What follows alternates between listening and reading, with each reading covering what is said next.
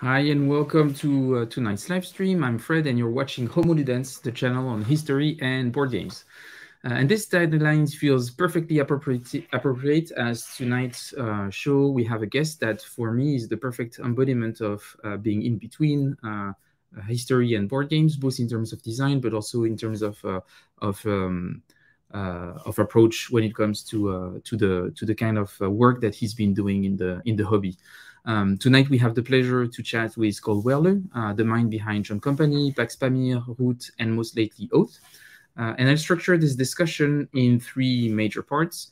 Uh, the first part will focus on Cole's personal journey into gaming and game design. Um, the second will be the biggest part of our discussion uh, regarding his game design approach and relationship specifically to history as a material, but also as a topic in its game.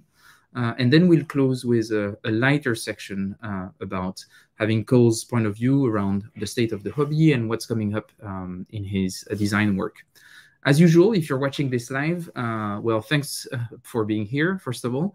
I really appreciate it. Uh, and remember that you can react and ask your questions to, to my guest in the live chat. Uh, I try to bring them at the right time in the discussion. So if you're asking a question and you see that it's not being brought on screen necessarily straight away, it might be because I see that there is a better moment within the flow of the question that I've prepared where I think it would be a better moment uh, to, to bring it up. And if you're watching this after the stream, uh, well, I will probably have added some time codes in the description uh, for you to navigate from one section to another uh, if you want to do that. Uh, so that's pretty much for my intro. Thanks for everyone for being here. And I'm going to welcome our guest, Cole. Hey, Cole, how are you? I'm doing very well. How are you? I'm doing really well. Thanks for being with us um, tonight. Uh, I'm going to have a quick uh, look at the chat, and I can see that we already have quite a few people joining us. So that's really great. I can see some uh, of uh, the regulars uh, like Ross and Kirk, but I also see some new faces. So that's really nice. Hi, everyone. Hi, Wilmer. Hi, work. Hi, Marco. Oh, yeah, Marco is also a regular, so that's really really cool. And we have Lord of the Board who's here, who became a recent a recent fan of the show, so that's really really nice. Um, and uh, and Saverio always always there. So thanks everyone for joining us and uh, uh, for being with us uh, during that uh, chat with Cole. Um, I would like to start maybe a bit more uh, on the on the personal parts of your journey. Um, and I didn't want necessarily to start by talking about Cole Wehrle, the designer, but could you present us briefly Cole Wehrle, the man outside of uh, game design? Outside of game design, yes. Um, well, uh, let's see. What's what are, what are, the defining things about me? Uh, I grew up in the Midwest, in the American Midwest, in a part of the country that gets called the Rust Belt, which kind of stretches sort of through the middle of the country. Um, I grew up in northern Indiana in kind of a post-industrial town and uh, boy, it's hard to separate the, the design from, from the biographical. I grew up just playing games. I'm the oldest of a big family. We also always had everyone always had friends hanging around our houses, and we you know there were almost children spilling out the windows, uh, and we were always kind of at play in that group. Um, and I also found myself, um, I think, like a lot of other Midwestern kids, I felt like a little penned in. So I spent lots of time at the library and dreaming about how I was going to escape from from the mm. American Midwest. Um, and I, you know, I, I, think growing up, I also I, loved uh, watching movies, reading books, just sort of consuming anything I could, learning as much as I could about the world around me. Um, I was convinced when I finished high school that I wanted to become a journalist. That I was quite quite sure that that was what I wanted to do. Uh, it was a profoundly bad time to get into journalism, though. Uh, but that didn't bother me. I, I went to to J school anyway. I uh, went to Indiana University in, in Southern Indiana and graduated uh, right as the Great Recession just turned the American economy uh, on its head. And I had I had the good fortune or the bad fortune to graduate um, at a period right before social media news people started to exist. There weren't mm. social media editors at that time, uh, but right after Craigslist had removed all the ad revenue from from the, the newspaper, so there just wasn't an entry level journalism job uh, that really existed when I graduated. So, uh, you know, after I finished my, my degree, I, I went and Uh, I worked with people with disabilities for uh, a couple years and then eventually found my way into graduate school, thinking that surely if a newspaper is falling apart, the university would last longer. And that proved to be a pretty silly thought as well, uh, because there weren't very many jobs by the time I was done with graduate school. But uh, you know, the, the, thing that is the through line through all of this, and I'm happy to talk more about any of those, mm. any of those things, is I just always found myself wanting to, um, I don't know, learn more, do more, engage more deeply with the with the, the people I was running into, um, and I would I felt very blessed, very lucky. Um, to be able to have all that schooling and to be able to constantly run into interesting kinds of stories and problems, uh, and that curiosity kind of sustained me all the way through uh, through graduate school. It's interesting that you're saying that uh, originally you dreamt about uh, uh, being a journalist. Uh, there is a game designer, uh, Brian Train, that made that parallel, saying uh, that game design can be a form of journalism, a different mm -hmm. way to depict events, have a point of view, and and share with a wide audience something that can be a complex situation. Do you see any parallel with some of the work that you've done and maybe journalism? You know, one of the I learned so much in um, in journalism school uh, about how to about how to ask questions, but also how to make things. Um, one, one thing that I, I, I remember we had to take these writing drills, and uh, the way the writing drills worked is you would go to class and they would put on a speech or something, and you had to pretend as if you were a reporter sitting in the room. And then after the speech was over, maybe it was a 20 minute political speech, they would say, All right, well, you have 45 minutes to write a uh, 800 word article about that speech. Mm. And we, I, I remember raising my hand and saying, "Oh, is this due tomorrow or is it due tonight?" He said, "No, no, no. It's due by the end of class. You have to give me whatever, whatever you have done." And uh, it, was, it was horrifying, but you got better at it. And I, I always loved working on journalism projects because you couldn't procrastinate. If you hadn't scheduled your interviews on time and you couldn't just invent those interviews. I guess you could be, you'd be in a lot of trouble. Um, and it taught me a different way of engaging with projects uh, that was um, much more thoughtful, not thoughtful, deliberate. You, you, had to you had to plan, and you had to, when you were thinking about undertaking a big project, you had to become very familiar with the sort of work, the sort of bricks and mortar that you would use to accomplish that plan. And then when it came to accomplishing the plan, uh, one thing that I loved about uh, about working and I, worked a little bit for a radio station called WFHB just on kind of an internship which was a community news radio station. And for, for some other places and one thing I loved about it is um, you are continuing to run into your own ignorance. You know no person can understand their own ignorance. That's part of what makes it ignorance. But i feel like the folks i know who were re real good reporters had a better understanding of their own ignorance and they knew when they were out of their depth and they knew when to when to call someone who knew more and i loved that humility of mm. discipline mm. Um, and I found it really, really, really uh, uh, attractive. And it was, it was, um, you know, when I think about all of the, the journalists who were real he heroes of mine at that time, and I'm thinking about people, um, both reporters like George Seldes, but also um, commentators like Bill Moyers, who just had a real intellectual humility and a real desire to find the, the best person they could possibly be talking to and see what they had to say about some important issue. Yeah, that's really interesting. Do you, do you feel that way maybe in the way you approach research when you're doing game design, like starting from uh, maybe a topic that you don't know much about and you uh, and you like to to like trying to find the, the best kind of sources, like having that effort as a journalist, trying to figure out what would be uh, something that is particularly relevant. Is it some a pleasure that you get from it? Well, you know, there I've I've never found any commonality in how everyone designs games. Even as I've started to sit in this industry longer, I, I have no one has written a, a, book of best practices on design. Everyone does it quite differently, but I do find that designers fall broadly into two camps. Um, there are designers who, when they start a project, like to um, put themselves in almost sensory deprivation. They want to think about their own memory, their own intuitions, their own thoughts about a subject, and then try to find the truest enunciation of that subject. Um, and, and that can work pretty well for some designers. But I am in the exact opposite camp. If I'm starting a project, I want to play every game that has ever been made on that subject.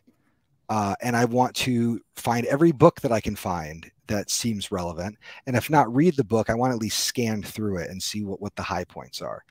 Um, and I take that approach um, whether or not I'm working on a big history game or a science fiction game. I want to take in the widest group of sources, um, and I and I think that has to do with the fact that I think of design principally as a conversation, and it's a conversation where the utterances are the games that are made and the books that are written.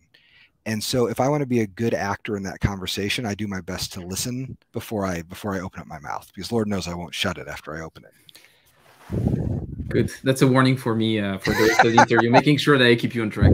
Um, and I realize that I'm not respecting the structure of my own interview, so I'm going to go back. Oh yeah, sorry. We don't need to talk about design. No, no, but that's that's me. That's on me. I asked the question, uh, and I knew it wasn't the plan, so I'm going to go back to going back to uh, to Cole and uh, your journey into uh, into into gaming and then game design. Um, so I've heard already uh, in the first answer when you were talking about uh, where you came from and your background, it felt like gaming was um, since childhood a big part of, um, of, of your life. When did you feel that gaming could be something serious that you were really passionate about, and not just something that you did uh, with friends to, um, mm -hmm. to mm-hmm. to do something on a rainy afternoon? Where did you when did you start feeling passionate about it? Well, I so so gaming. I'll just underline how important it was to me growing up. My my father taught all of our us, myself and my my siblings, all how to play chess when we were very young.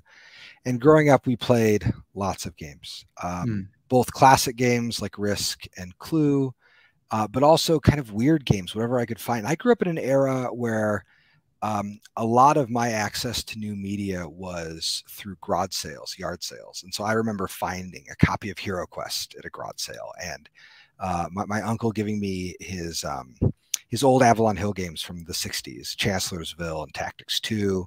And then I remember trading some of those for a copy of Squad Leader from another friend's uncle or, or father or something that they had a copy knocking around. And so I was really interested in games and they excited me. And I spent a lot of time playing them. I was very lucky to have many friends that lived in the neighborhoods where I lived. And so after school, it was very common to bike to a friend's house to play a game of Risk or, or Stratego or Warhammer. Or later, we played Battle Cry. Um, and we were always toying with the rules of those games. And I remember, you know, I made a, when we were playing a lot of Risk, I made a set of Risk rules that had vassal states where you could partially conquer a player and there was a little diplomatic intrigue system in it. And when I started getting into Twilight Imperium, actually I remember Twilight Imperium third edition was like a, a flashpoint in my in my secondary education. It came out right at the end of high school for me. And I remember being so excited by it because we had played so much of the second edition of Twilight Imperium.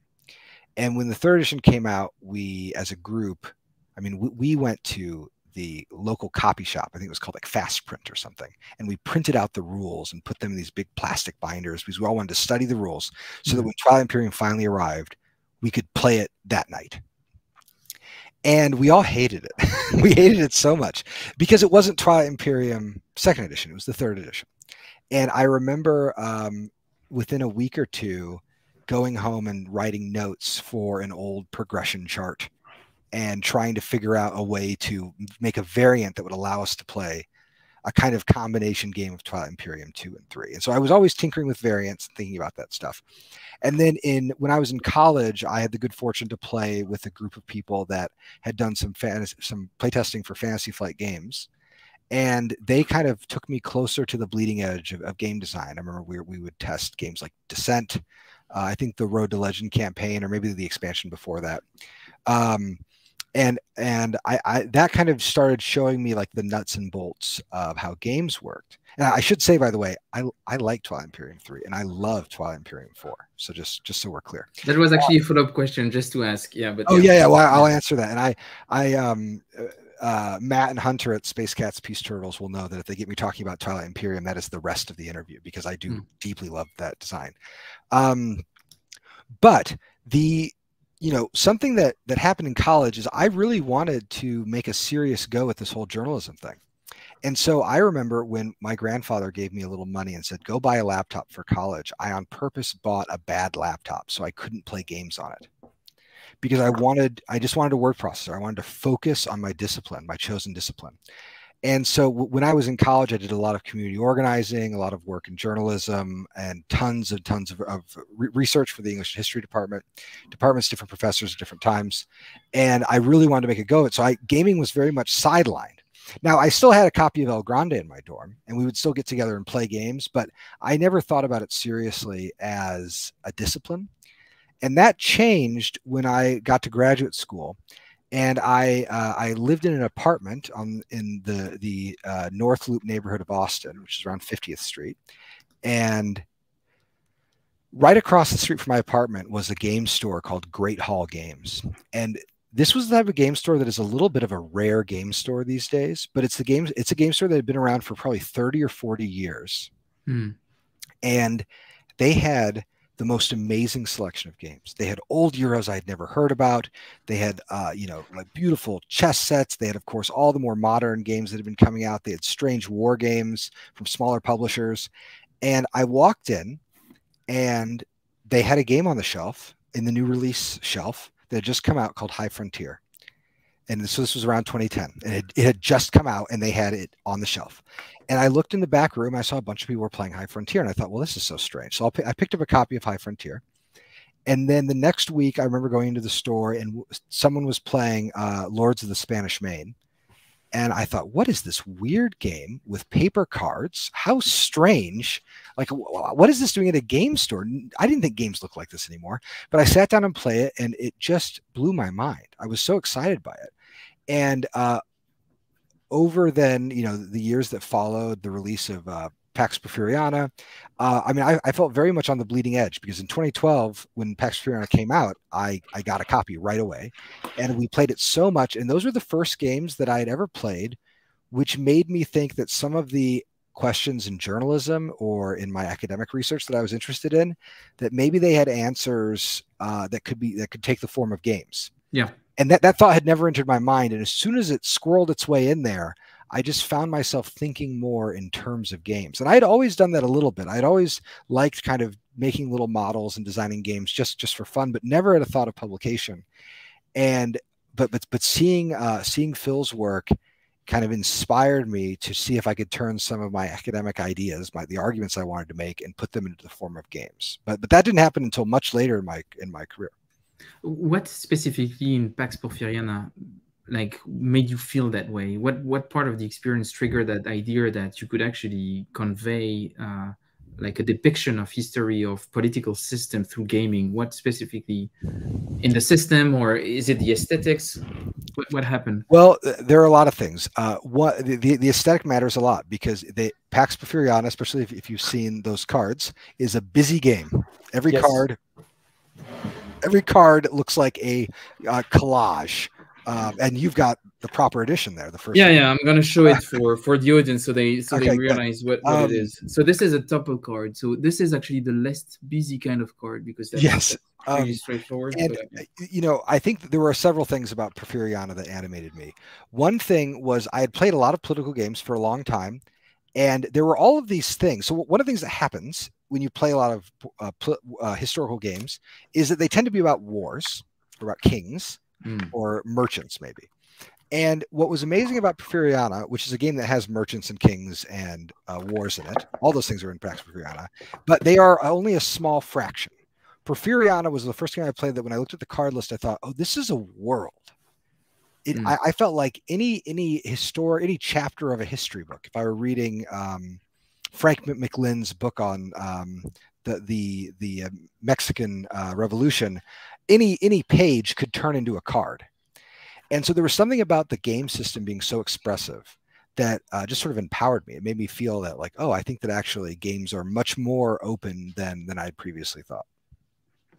That's interesting. So I think that makes the perfect transition toward the second part of the discussion, which is about your approach about game design and how you use history in that uh, in that in that and you were saying something interesting about Pax Porfiriana is that yes, it's about a conflict, but it's about so many more aspects of it.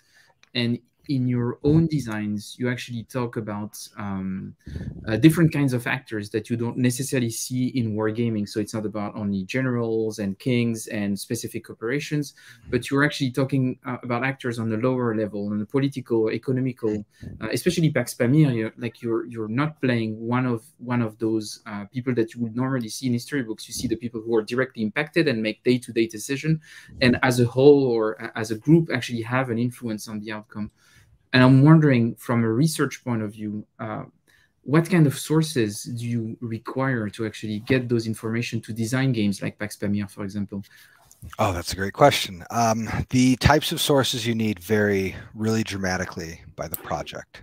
Um, so, Pamir is an Pamir is an interesting example of um, of how like uh, the long road of sourcing that goes into a, a, a that can go into a historical game. So uh, Phil had asked me, um, the the designer of Pax Porfiriana had asked me um, if I'd be interested in doing a game that was closer to my own research, and so I thought, well, I do want to do a game about this period called the Great Game, which was a geopolitical contest between the British Empire and the Russian Empire for most of the 19th century.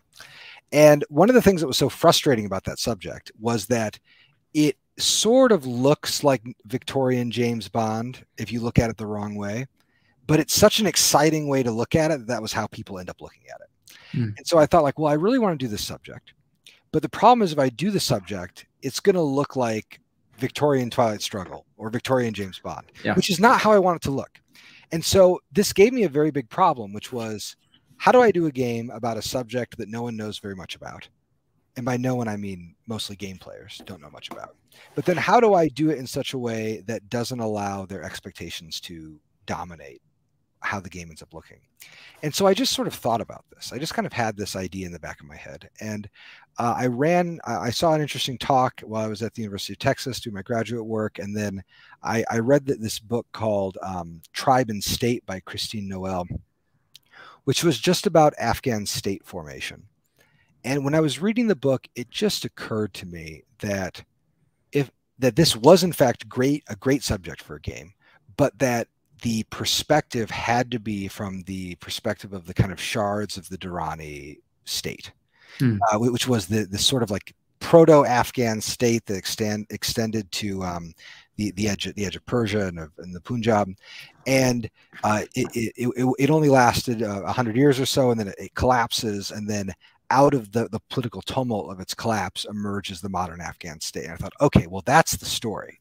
The story is you know the, the story has to do with what does it mean to form a state on the edge of an empire. And so I read Christine Noelle's work. I read a bunch of other academic works about just how states are built in this period, what it meant to start a state.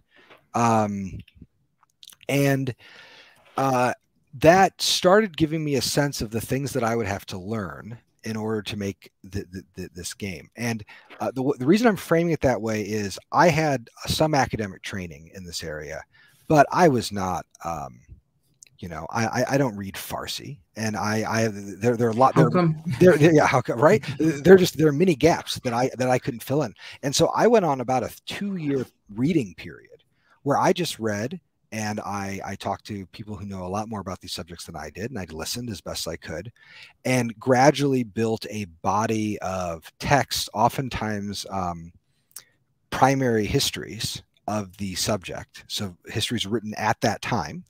And then started trying to figure out what were the thing if you were eh, organizing, if you were one of the, the, the fragments of this empire trying to organize some state in this area, what were the things that you were worried about? What were the what were the kind of pressures that, that they were facing on, on the ground, and mm. then could I graft those pressures into the into the historic state? And I think th- th- this gets into a question of design aesthetics because, in in my view, a good history game should put the players in the minds of specific actors or groups of actors and should give them the pressures that were felt at the time. And that often means allowing yourself to be a little ahistorical. And so I've started thinking about my history games as almost works of historic fiction because what I'm trying to do is capture a mood and a time that will tell us a lot about that time, but I'm not trying to tell the story of what happened. I'm trying to tell, I'm trying to allow players that maybe they'll tell that story, maybe they'll tell a different story that will shed a light on a different part of the uh, of the conflict. And it's interesting that you're talking about historical fiction because I was reflecting upon the fact that you have Flashman as a character in Pax yep. Pamir, which is a character of historical fiction, and you could say was the Victorian James Bond. You know, yes, yeah, yeah, yeah. definitely. No, he's there. I, I, I put little I put little Easter eggs in all my games, and he, I wanted him to sit there because, uh, and as I say in the uh, historic notes for that card if he never you know he never existed but a type existed that he is based on and you know critically he is a weak card he is yeah. not very useful. He, he can be very useful, but he is not the star of the show. And so I put him there because for folks who who want him, who want to play him, who want to kind of inhabit, they want to be Eldred Pottinger or something. Um, they can see that he was there. An, a, an actor like there, like an, an actor, a historical actor like that, was in fact on the ground, mm. but they were in the margins. They were on the edge of the stage. They were not the major drama. And so the reason why I decided to put in that that card and a couple other cards like that is to allow players to see where actors like that would have sat in the larger drama. Yeah. Because if if they're not in there, then players are going to start making assumptions about who who the who they might be acting as. Hmm. And I didn't want them to, in their assumptions, to overwrite the, the history of the game. Uh, yeah, that's that's a really great thought. Uh, I like that a lot. Like still having those elements, but putting them in the context of the wider scale of things. And I think, in a way, by contrast, it makes your argument even stronger about what you want to talk about, about what you think matters. Uh, and that transitioned me to, to the next question that I have is that do you think it is crucially important for a game designer that is designing about specifically a historical topic to have strong arguments and a thesis getting into the game and not just trying to um, uh, regurgitate uh, research, but actually have a specific point of view that they want to transmit. Do you think this is key in in good game design or in interesting game design at least? Yeah, I mean, I, I, you, I want, I want them to have something that they're trying to say for sure. But it doesn't have to just be a, a message. I've actually, I've run to this very uncomfortable realization. This is probably the first time I'm saying it on tape, but it's an uncomfortable realization all the same. That um, there, there is a spectrum in game design and on one side of that spectrum, there is uh, the game with message, right? Like you, if you play this game, you will understand 100% what my message is. You will you understand who the bad guys are and who the good guys are, and there'll, be no other uh, points of confusion. Uh, but on the other side, there is the game that is expressive. Mm. And the more expressive the game is, the more it will be capacious enough to house different kinds of messages, but often these things are a trade off. The more broad you make your game, the more likely it is for someone to misinterpret it. And uh, so I've, I've, i I, often think about games as having arguments, but I mean that uh, in a very narrow academic sense, which is to say, the game is present can, can present many arguments, some of which I'm very aware of, and some of which I don't even understand in the sense that a game is always going to reflect the cultural context of its creation. Yeah. And it will it will speak in more voices than than, than I have. Um, but the the thing that I want, and I think this is the more direct answer to your question, is the thing I want in a design from my own designs and from the designs of others is to feel as if something urgent is being communicated to me. And it doesn't have to be an answer, it could just be questions but I want there to be a reason why the game is existing and for the game to have something to say. Uh, and I think when I play games that don't have that sense of urgency, those are the ones that tend to leave me flat, that don't get me like reading the rules at night and thinking about playing it the next mm. time because I feel like, well, it's kind of, I, I, you know, I know what it said or it didn't, it didn't have much, much to say at all. Uh, and I think that is more true for certain kinds of design than for others. I don't uh, apply this text to the quack, this test to the quacks of Quedlinburg. Um, and I like the quacks of Quedlinburg just yeah. fine. Um, but I, I, think it's just a very different. It's just a very different kind kind of uh, kind of object that's being made. It's a different kind of experience. And you were saying that depending on how expressive the game design is, you're opening yourself to having more uh, diverse set of interpretation of your game. Do you think that a designer can also miss his own point in his oh, yes. design and having oh, yes. his game saying something radically different than than what he has in mind, like the arguments that he has in mind? Yeah, I mean, I well, and, and I think uh, Phil Eklund is a, and, and that's that's it, the elephant in the room. I'm going yeah, there. I'm going well, there. Know, well, but I think it's a great example because I think yes. his games are so much more uh, subtle and expressive than his overt argumentation, uh, which is oftentimes not great uh, and sometimes awful.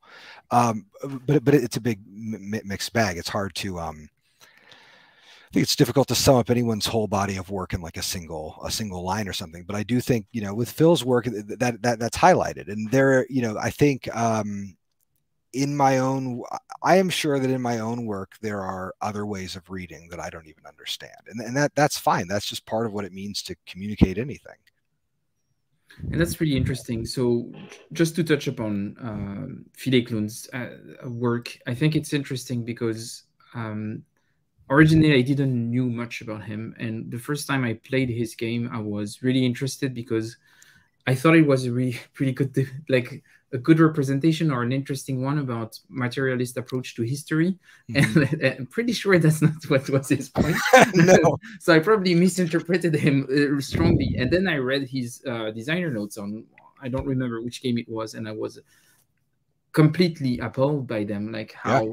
some sometimes misinformed they could be, uh, sometimes borderline racist, uh, and I was like really shocked by by the experience that I had in gaming and and actually the point of view of the designer and I was is it me not seeing something or is it possible that the designer himself is missing his own point?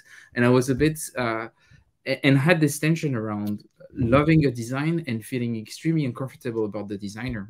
Mm-hmm. So, well, go ahead. No, no, go ahead. Well, I mean, I I think that this is a very this is a very reasonable re- re- response. You know, uh, I I I, may, I help moderate with my brother a little Discord uh, for for Wehrlegig Games, and for we handle some of our testing there. And it's also a place for people to discuss games. And what we found um, was that whenever people brought up the games of Phil Eklund, uh, an argument would break out. And just people would be throwing throwing tomatoes at each other. And this was these were the most kind and just grounded mm. people. I'd been talking to folks on this Discord for a long time, but there was something about Phil that made people uh, go crazy. And I think there's a desire to to take him to task for, for his beliefs, which is a good one. I, I don't, you know, I think uh, whenever someone asks me to, to comment on Phil, and I say, well, he, he's often wrong, and he's he's probably very wrong in this particular case, and uh, I, you know, I, I don't I, I, have no interest in shielding him. I, I think if people hmm. have good criticisms, and many people do, they they should take them to Phil and they should make their criticisms known. That's that's excellent. Um, but one of the things that I that I realized that was happening is I think that there's a desire in our own media consumption because, uh, and this is I think because the game industry is a very um, I don't know if chummy is the right word, but but it's a small world. It's a world where you know you and I can talk. We, we both have published yeah. games, and and we can talk to other, folks, and and people want to to sort of like and look up to the people who are publishing games. And so if someone has a bad character, you don't want to financially support them and that's a very reasonable uh, that's a reasonable course of action but um, it's also reasonable to not have those thoughts and I, I, usually think about this from the perspective of just from an academic uh, from my, my own academic training um, people who are quite broken and quite wrong generate very beautiful and very interesting things sometimes. And people who are beautiful and perfect in other ways can generate very insipid and boring things. And that and every and every work is sort of filled with angels and demons. It can't help but be because it tells you a lot about the circumstances of its creation. And so when i play phil's games i see you know the kid of a rocket scientist who grew up in the american southwest in a very libertarian place who was often probably pretty sharp and maybe got drank too much of his own medicine. Hmm. And I don't really know though. I mean, I see a lot, and I and I've I've met Phil. I I, I don't know him well, but I I mean I've, I've met him. I've had I've shared a meal with him, and I feel like I his games are filled with contradictions. Yeah. In the way that anyone's work is filled with contradictions, but there are some artists, there are some folks where the contradictions are sharper. And so what we ended up doing at the Wehrlegig Discord is I ended up having to kind of break in and say, look, um, there are many very good reasons to not play a game by a designer for whatever reason. I don't. I mean, there's there are lots of there are lots of reasons why you might not want to buy a game that someone's made or play a game. Uh, there are also many reasons why you might want to. And so when we're talking about games, it's important to allow grace to both sides of that. Because look, uh, Pax Porfiriana is filled with um, fringe libertarian ramblings in those footnotes but uh, it in, it is a direct inspiration for my work on Pamir, which has yeah. completely different politics. And I, I found in it a, something really animating and exciting. And I don't want to be unfair to my own lived experience and say and like write it out of my life because that, that's not fair to, to yeah. what the design could do um, and so I, have I've kind of ended up trying to say like you know there i just want when it comes to the, the consumption of art um, what an artist is intending i just don't think matters it does it isn't the, the the central thing because meaning instead is negotiated i mean this is such a funny thing it was so it's so funny to be talking about this because i just had this conversation with, with someone last night you know in my own academic training um, the notion that uh, an artist's intent matters is laughable. It's like saying uh, to a physicist that gravity doesn't exist. Yeah. Because there's a general assumption uh, in something called the intentional fallacy that the intention doesn't matter. Meaning instead is oftentimes something that's negotiated between us, the readers over here, and the text over here. And the intersection of those things, that's where meaning gets generated. And so I don't really care what Phil thinks because his games speak and they speak in all kinds of voices. And I think they are intriguing. Um, but I also think that if you find Phil's politics abhorrent and you can't play them and separate out the artist from the work, that's fine. I don't for I don't want to force anybody to play anything. I, there are games about subjects that I find too close um, that I think stop me from being a good player or a good designer. There are subjects that simply can't can't be can't be done yet and that that is very that's a very reasonable thing you know it's i think that a little bit of of scholarly distance is a very good thing and there are subjects that i don't write about because they are too close to a lived experience and i too sensitive and so whenever someone tells me like oh you know i don't want to in the context of the global war on terror i don't want to play pax Pamir. and i say well know that Pamir takes place about 200 years before the global mm. war on terror but also I understand. That's a totally reasonable reason not not to play the game. Um, and I don't, you know, I, I think that um, I want to. We have to always make sure to be sensitive to um, the feelings of the people who are playing these games. So, I have a lot of sure, sure, sure, potential direction going next to that because that's that's uh, that's that opens up a very fascinating discussion. Maybe going back to what you were saying about flawed individuals sometimes produce beautiful things, and, and I, I completely agree with that. And for me, that goes in the direction of really putting game design as an art um, and and would you really put it, it completely in that category or do you think it is uh, a bit more uh, complex than that. It's between art, but also like just creating a product because there is also the reality of the production of, of, of, of game design. They are made to be mm-hmm. consumed. So, uh, and, and, and they, they have to be manufactured and everything. So I would like really to, to pick your brain on what do you think game design is? Is it pure art or is it something else? And, and what's your position on this? When I used to teach my undergrads, uh, about aesthetics and criticism. I would tell them that art was a word that you used to defend the things that you thought were valuable and devalue the things that you didn't mm. care about. It is uh, it's it's a term of capital cultural capital manipulation. So I say that this particular artist is producing brilliant art, but that the Beatles are garbage, and that is doesn't count as art. And what I'm doing is saying that the, the works that I value are of higher of higher capital than the, the, works of someone else. So I always see the word art de deployed in very careful, strategic ways around around that. So I think, of course, games are art, and then the question becomes, well, what kind of art are they? And this is the hard question. Um, th this is the, the question that will keep you up at night because obviously a game is not a song, it's not a movie.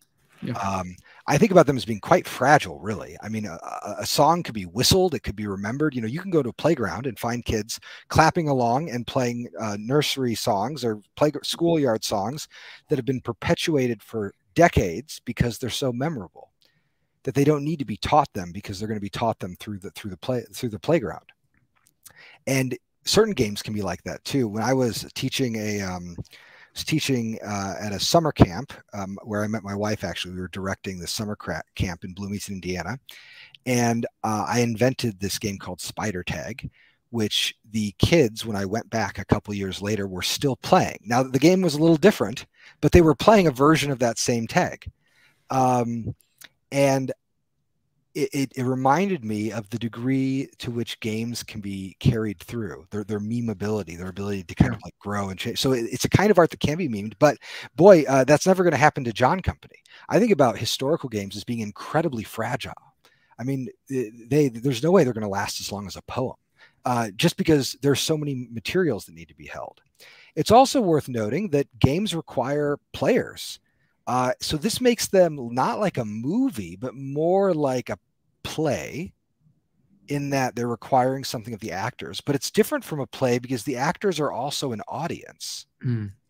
Um, and this kind of leads me to thinking that if we are going to think about games as art, which I think we should, this kind of art they are, are this is a weird improvisational form that requires the participants of the game to also be the audience and that is a i think that's a very fascinating way of, of thinking what, what a game is but it, all but it underlines how strange it is. Because i think it's one thing to say oh yeah of course games are art but they're art in a way that is different from a memoir that is different from a book of poetry that is even different from a play so in a way you would say that game design is a template for an interactive form of art. So you're providing the the framework for that. So do you think that as a game designer you're making people artists because as they play the game they actually they become performers like uh like uh, someone who sings or someone who actually plays the play? Do you think that there is this actually it's even more collaborative in that way because you yeah. have a straight collaboration between the game designer and and and the player and their interaction abstracted or that can be distanced by miles by by years and everything that interaction is is actually generating the art itself and and I, I think that's true and there can be no doubt of it and if you need any proof you can just look at the rise of um, the groups who stream their plays of Dungeons and Dragons, mm. places like Critical yeah, Role and, and, the other ones, where you see the line between player and actor being really porous. Um, and but but I also think that the I, I, I recognize too that um, what an actor does in a play is very different from what a player might do, even if that player is emoting and really getting into the into the mood.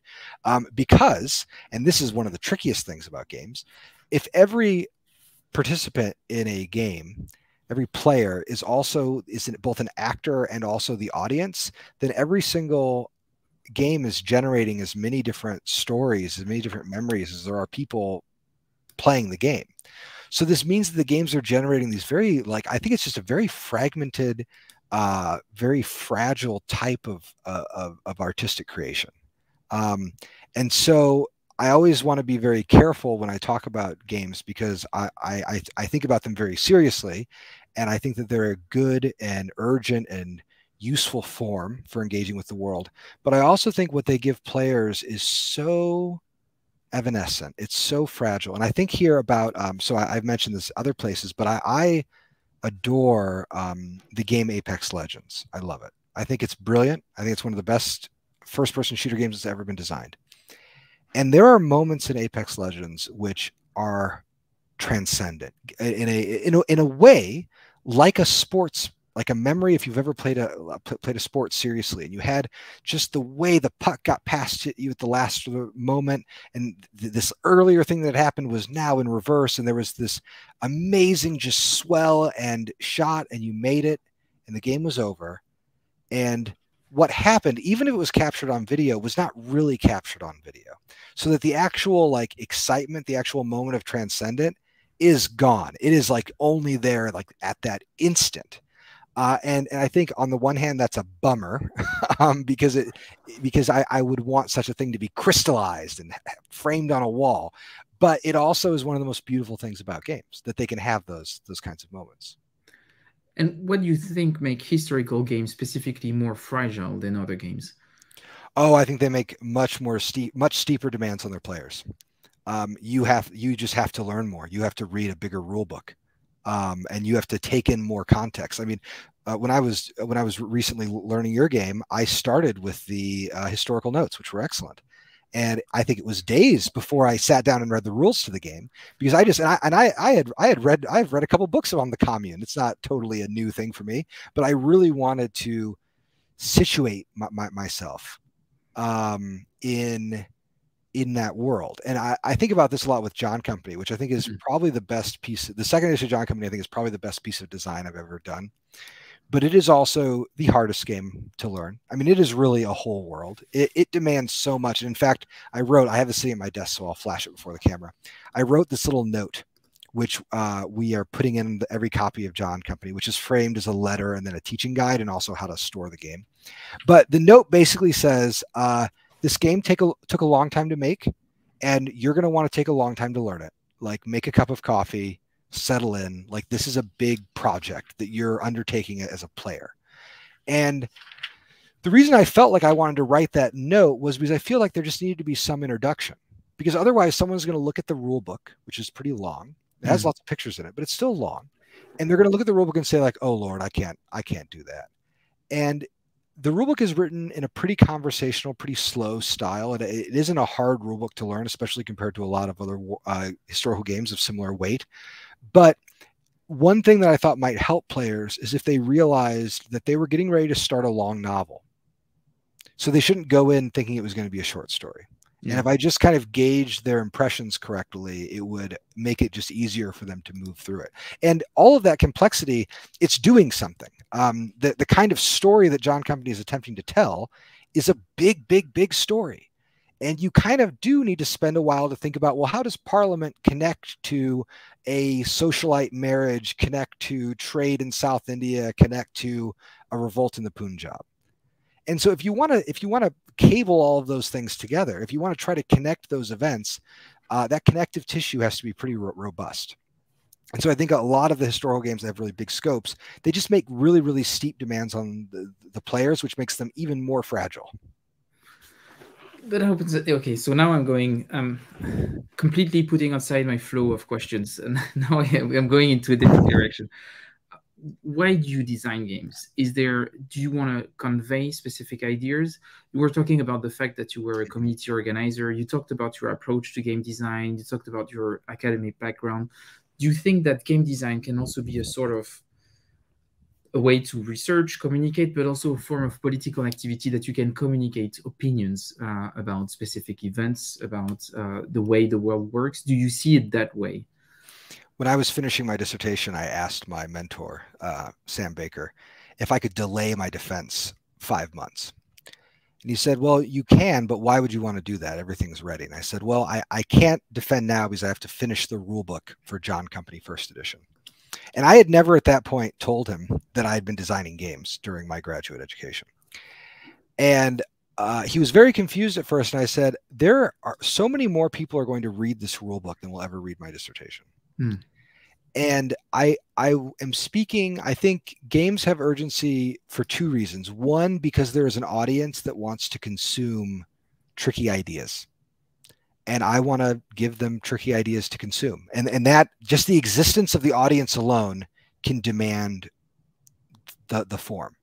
And the second reason is that some of the ideas that I want to try to get across are really well suited to the game form and are not well suited to academic articles. Mm. So I could write some of my arguments down about Pamir, but they wouldn't do justice to the fluidity of the situation the way a game might. And so, you know, one thing that I always think about when I'm working on a title is I ask myself the question, does this even make sense as a game? Like, is this a play? And if it's a play, then surely I'm not the right person to write it. I've never written a play before. Uh, and, and I, I, always try to ask myself that, especially when it comes to, to video games, for instance, because I, I love video games and um, I've thought about building them, but I've never made one. And if I'm working on a game idea that would be better suited as a, as a video game, then I will find somebody I know who works in video games and say, Hey, do you want a weird idea? Or I will just throw it away because I have to lean into my own skill set. But oftentimes, uh, I, I always think about games as having a kind of urgency, and it's an urgency for a specific kind of idea to be communicated in that form. Uh, and so usually the things that I'm working on as games, they could only ever be games. That's what they are. So in that sense, do you think that there is a risk of making games that are that fragile? Because if you think about, for example, community organizing or, or political activism, you, you, need to have um, different levels of materials and it, it, actually it's actually extremely hard to convey ideas and you know that if you start start straight with very complex ways to interact with your ideas you're actually going to reach a narrower audience and and like you have that whole tension around how do i communicate those ideas that i have and what's the trade-off between the level of complexity that i'm offering in in terms of game design and the and the and the audience that i want to reach how do you balance that mm. because your games are pretty complex. so, they, yeah. they, tend to be. Um, yeah, that you know, I, I, think that they, they vary in complexity from moderately to complex to very complex. Um, you know, there are one is never alone in discourse. There's always so many people talking, and so I think about sometimes as my little niche as trying to get these ideas across in this particular way and someone else might be working on a podcast that covers a similar subject and godspeed to them because they, we're all part of the, the same in, endeavor and in fact sometimes when i'm thinking about my history games i always think about them as uh, game hit, hit, i don't think this is quite as true as it used to be but i used to think that um, most history games were like 20 or 30 years behind the current like edge of scholarship hmm. and so that most of my game career was just spent trying to make it so the games were only five or ten years behind rather than being 30 years behind. I don't think that's quite true anymore, uh, but it was certainly true when I when I started. Um, you know, when I think about the politics of the games, um, I all of the games that I work on are political. They can't help but be political. That's not a choice, by the way. I'm I mean, all games are political, but my games are especially political, and I I want to um, push players to learn new things about these periods. You know, I, as uh, John Company is on my mind just because it was recently completed, and I think no matter what your position is on the British Empire, and there's really only one real position, which is that it was a completely evil um, organization. Um, but even uh, no matter how much you might know about the British Empire, you're going to probably come into John Company and find some things that upset some of your preconceived notions and find other things that might validate your ideas. You might feel challenged or put off, and, and that's great. And so I, I always, I'm always thinking about um, trying to build designs that challenge players with new and interesting angles on a subject that they might know really well. And then on, on that same note, uh, you know, one thing that, that I, I try to keep in mind when I'm working on projects is I try to be very aware of the discourse in which I'm participating. So Pax Pamir is not just a game about Afghanistan. Hmm. It's a game about Afghanistan in a world where there are not very many games about Afghanistan. It's a game about uh, a society where oftentimes the people in that society, if they're in other games, are marginalized. They're used for set dressing. And so when I went into building Pax Pamir, I thought, well, I absolutely do not want to do that. I want to make uh, the different Afghan political leaders and thinkers and just people who lived at this time. I want to put them at the center of the story.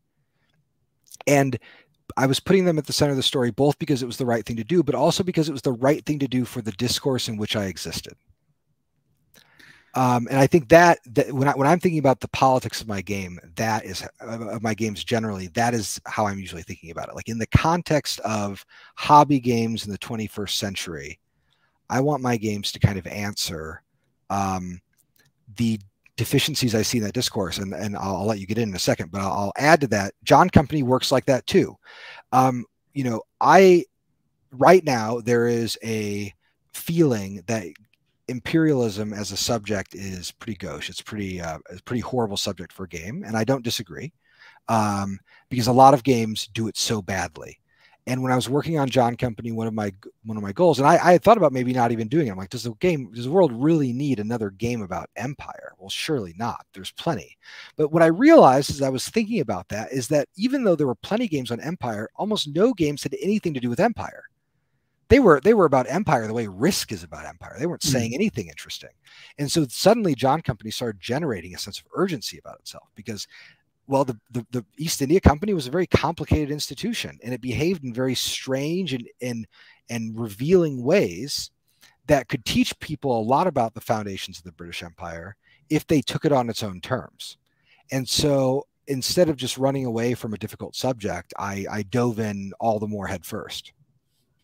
It's really interesting what you're saying about thinking about the discourse that you're taking part of, because one of the things that made me love Pax Pamir was the point of view that you took uh, that you decided, well, I'm going to make a game about, uh, I'm going to make a design about the great game, but I'm not going to make it uh, Victor Antoinette struggle, which is would be the the classical approach that you would expect from a game design. You take a different angle, and you actually, for me, this game talks a lot more about imperialism than most of the games, or if any game that I've played.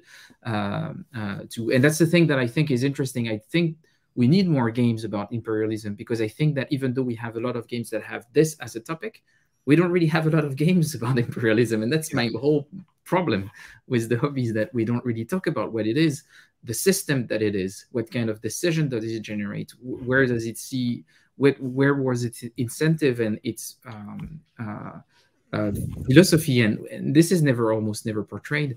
It's always extremely abstracted and represented between conflict between imperialism, but it's not talking about imperialism itself. And I, I don't know, and I would be curious to hear about what, what your thoughts, but I feel like actually there are not that many games about imperialism, mm-hmm. actually about imperialism. Yeah, so I, I mean, I think about no, notable games for me include the game Colonialism, and uh, I actually I really admire Martin Wallace's struggle of empires, yeah, which I, I think is a little cartoonish in its approach, but is one of the best games about 18th century geopolitics which is, is it's is itself uh, you know riddled with, with, with, imperialism. Now, what one thing that that game does that that can be a little alarming and a little uncomfortable, and it's worth noting before anybody plays it, is uh, many critical issues um, of of empire are kind of pushed to the margins. But that's because the game is from the perspective of the ruling parties, who often push those issues to the margins. Um, I think the same could be said about. Um, Gupta and Matthews' uh, Twilight, uh, Imperial Struggle, which uh, creates a, a, clear hierarchy in, in, the kinds of thinking. Like it really does put you into the center of, of the the 18th century, you know, ruler's mind, uh, and that can be that can be a good and and a bad thing.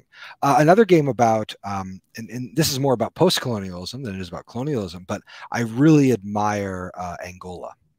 I think it's a it's it's a mm. amazing design, truly amazing um, one of the best games about civil war and insurgency uh, that's ever been made, and um, and and I and I w- wish there were more games like it, more games that really wanted to, to, to tell those stories. You know, one of the things I really wanted to do with John Company was talk about uh, how Empire. I mean, really, the, the, the game is an attempt at an origin story movie for Empire because empires don't just pop out of nowhere a little a little you know a, a little kingdom that that has a, just a handful of cities in it is not a small empire it's a little kingdom with a handful of cities. Empires there are specific things that that cause them to incubate and grow. And so and, and one of those things could be these big these big uh, transnational royally sanctioned monopolies of the 18th century and, and before. And so you know at the start of of John Company, the British Empire does not exist in any meaningful way, at least not in the way that it would come to exist yeah. later. And it's also not. It's also quite possible that it will not come to existence in, in that way. Um, and yeah, and I think th th this is a place where, where the game can kind of dismantle some of our preconceptions about what uh, what the British did in India and why they might have done it.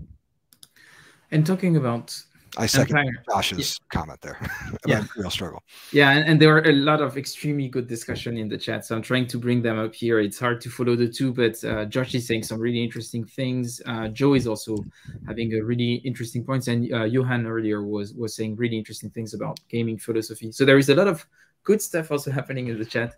Just something to to bring, not necessarily lighter, but just to maybe to to close mm -hmm. a bit that discussion.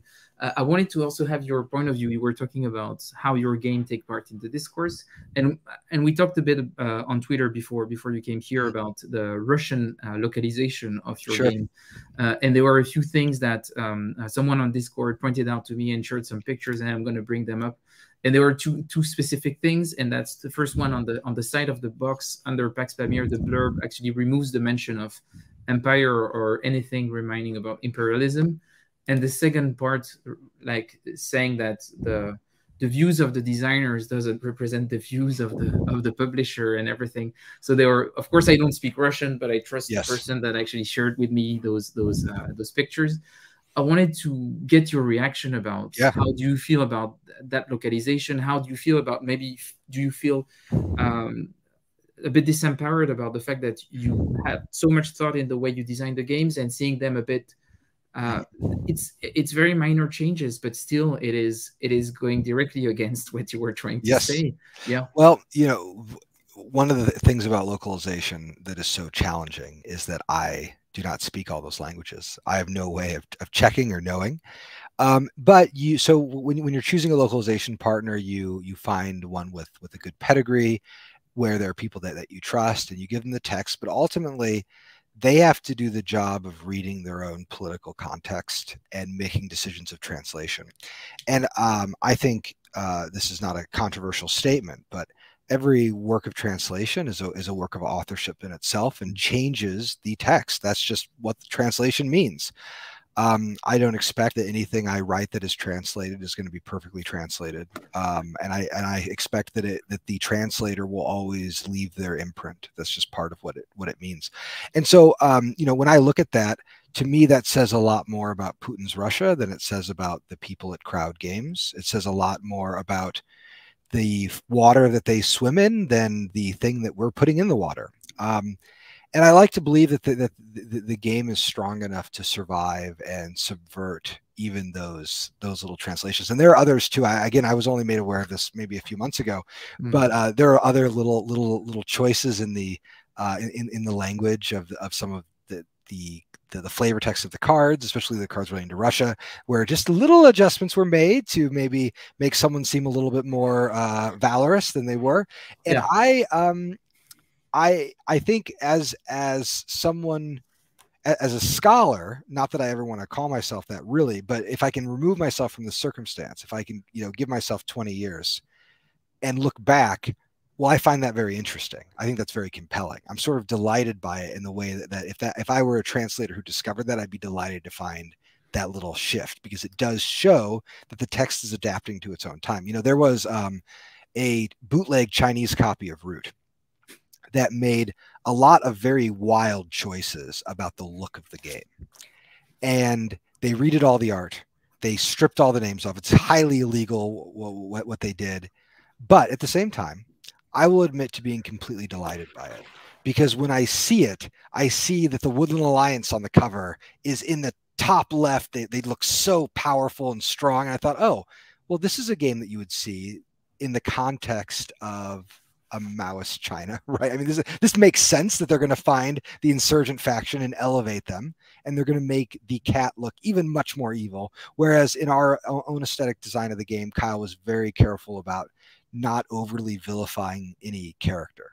Yeah. And so, uh, you know, I think that when it comes to translations, I I really do trust my partners to make decisions, even editorial decisions, that are going to be right for whatever their audience is but I also know that that. But on the other hand, uh, um, or rather, let me phrase that differently. So I trust them to make th- those decisions, but I hope that they also know. So I trust them to know that those decisions that they make are going to reflect on them and the context in which they exist in a way that I can't control for. Um, so because I thankfully I don't have to deal with with that. And I, I love that history about Root uh, because it, it, it, makes me think about something and going back to the concept of uh, game design as uh, as an art. So at, at, least in French in France we had situationism, so the the the movement by philosophical and artistic movement by Guy Debord, and they did a lot of détournement and, and something like this stayed in our popular culture where you have a lot of people doing uh, détournements, or changes of films. So you have this idea that uh, of people that are changing the dubbing of American films and making them say completely different stories. Sure. Uh, so some some of them actually have really strong Marxist doctrine being conveyed in Western and stuff like this. So it's pretty fun. And they and they were also in the cartoon in the comic book industry you had a lot of ideas of détournement and there was uh, i think it was like uh, 10 or 15 years ago um, uh, um, a belgian um, comic book artist that took Maus and uh, redid the whole book and everyone was a mice in it uh, and there were no mm. uh, and no more animals different animals in it. And just to and it made the actually the comic even more violent yeah. in, in, a way. And there were sometimes lighter things um, where you just uh, where you have child comic books where just characters disappear and you just have a lonely character talking to himself and it says a lot of things about depression. And there is a lot of ideas. And do you think that maybe as an as an industry maybe um, uh, board gaming is a bit too um, I don't know com commercial and maybe less artistic, and we should do more of those weird things, like taking a design, change it, and shape it, not, not as a ripoff, but actually as a as a as an actual artistical homage uh, of.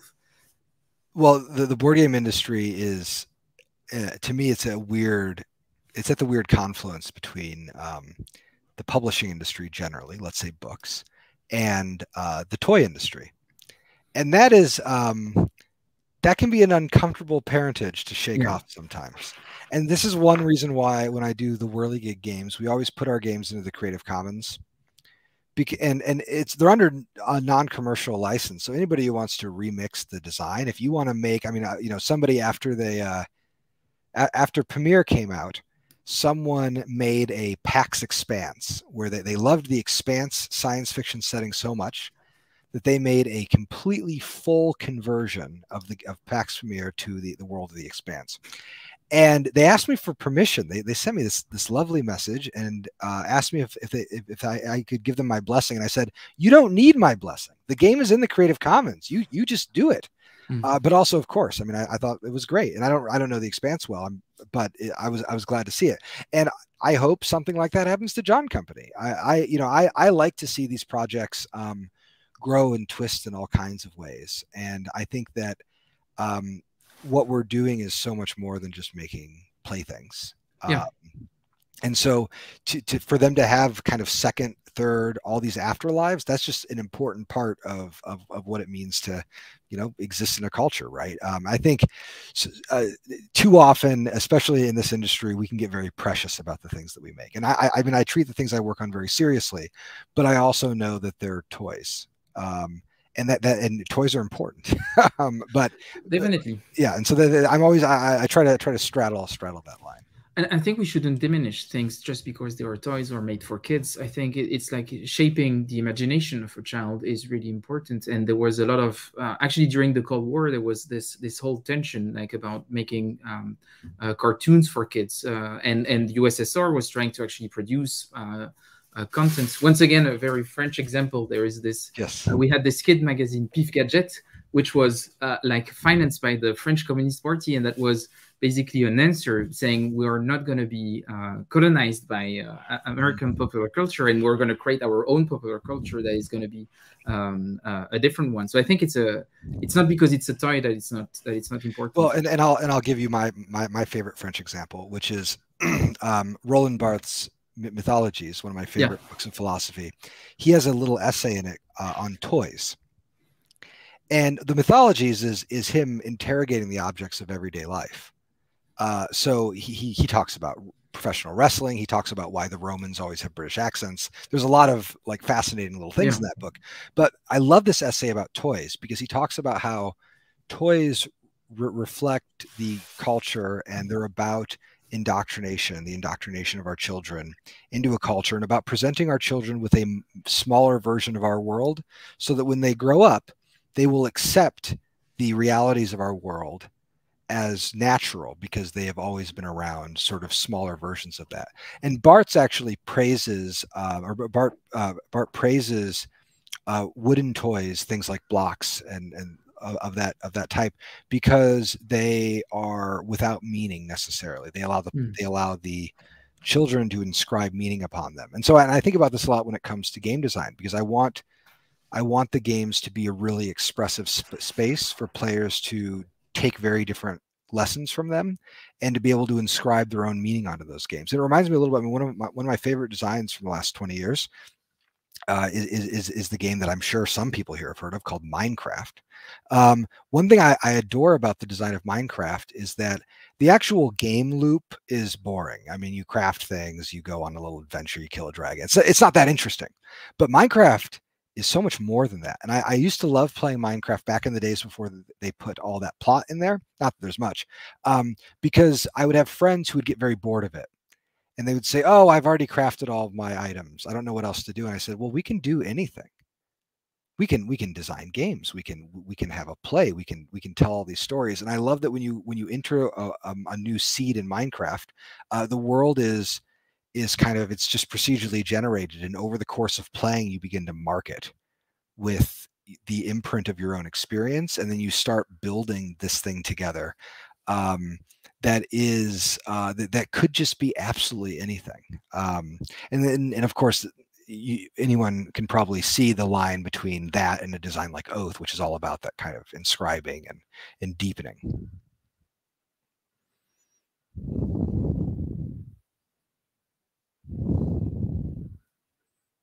Oh, I've got you muted. Oh, sorry. Yeah. Oh, no, uh, can you hear me now? Yep, yeah. Yep. I was saying I'm gonna be a bit cheeky now that we're talking about toys. We can talk about Root. Uh, yes, it's not a toy, but still, um, uh, just to say, so Root is a very different kind of game. We talked, mm-hmm. you talked a lot about John Company because the second edition is going to be released soon. Uh, we talked about Pax Pamir, obviously, and we talked a lot about historical design. And reflecting upon everything that you said before, what did you want to say when you made Root? What was your argument? What was your point?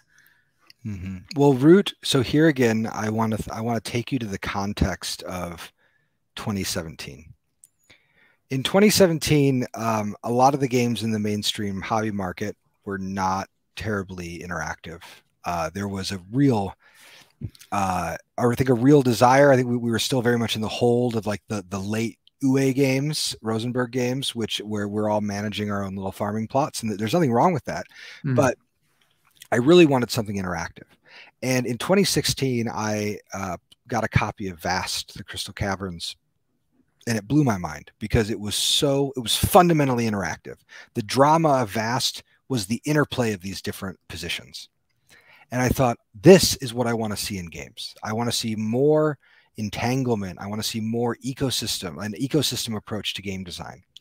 Uh, and then, you know, later uh, Patrick hired me and he gave me a brief where he basically said, "We have Vast. I I want to make a, a, a strategic asymmetric game." And I had been trying to, I've been thinking on similar notes, not in terms of asymmetry, but in terms of designing a very accessible war game engine.